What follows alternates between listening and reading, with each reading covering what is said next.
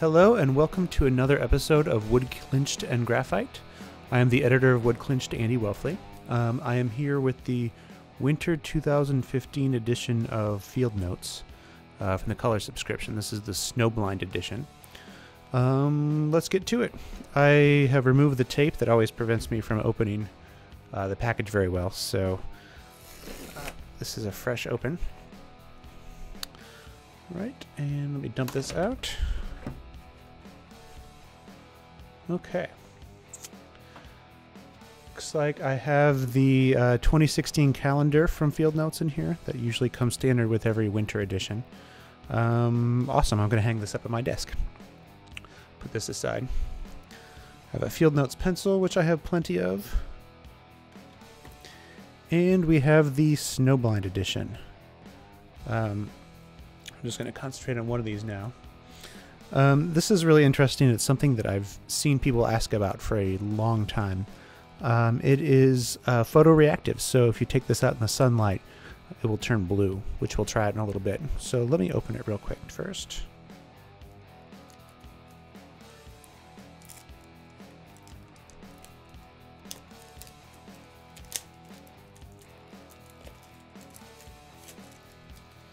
All right, put this aside. Um, we have a bright yellow belly band here. Um, Field Notes FNC 29. Field Notes Colors, the 29th edition. Um, the Springs is going to be 30, so that's going to be exciting. Uh, view in direct sunlight, and it is a gridded notebook. Um, I don't know if you can see it here very well. Yeah, it catches the light a little bit. Um, but it looks like there is a slight coating over where it says Field Notes that's a little bit different color um, than um, than the white cover. Um, if you can see this very well, it's a pretty true white. It's about as white as this desk is. I like that a lot. Okay, let me slip the belly band off. All right, let me open this up. Uh, it looks like the inside has um, kind of a light blue uh, coating where the pertinent coordinates and the kind of like the property notes goes. Um, the paper itself is that 60 pound um, Finch Bright White. Let me double check that.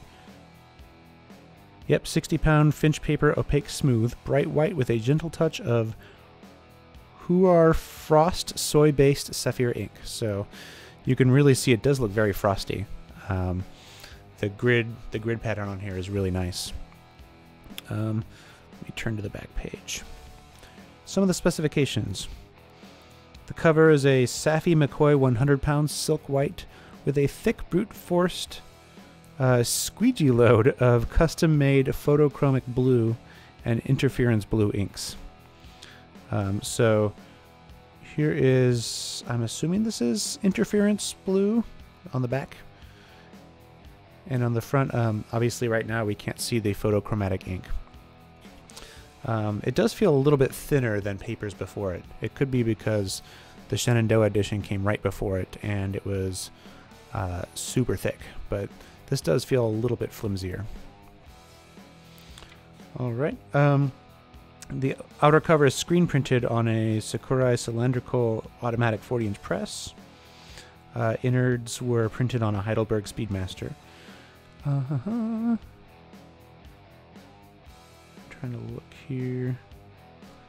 Oh, they don't actually tell about the staples, which are in a nice touch, which Field Notes is known for. Uh, the staples are kind of a frosty white as well, so lots of unbroken color lines here. This is really beautiful.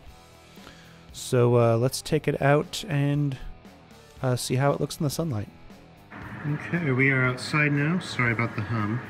Um, and we found I found the one one patch of sunlight that I can get from my balcony. So let me get the field notes out of here. Here it is, blank white. Let's hold it in the sunlight.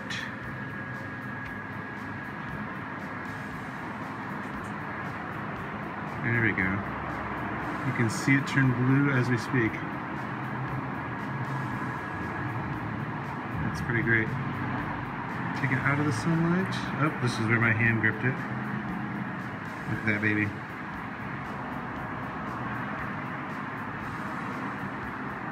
Alright, these are available for uh, $9.95 for a three-pack from fieldnotesbrand.com. Uh, it's the 29th edition Snowblind.